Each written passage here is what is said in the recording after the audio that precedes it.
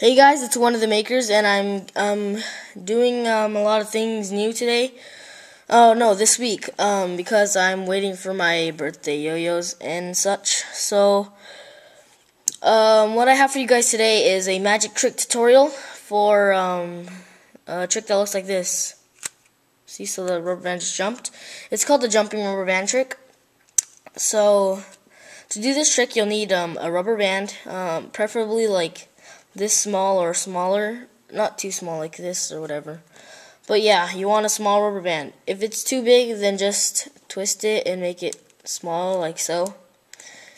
And put it over your fingers like this. Then you want to take the bottom of the rubber band, pull it out, and stick your all your four fingers into there like this and drop it. So when you show your audience, it'll be like this. All you have to do is release your hand and the rubber band will switch sides like that.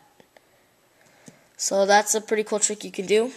Um, you can go and amaze your friends and many more people. So I hope you like this magic trick tutorial on the trick, the jumping rubber band. And please rate, comment, subscribe my videos, and I hope you like it. Bye.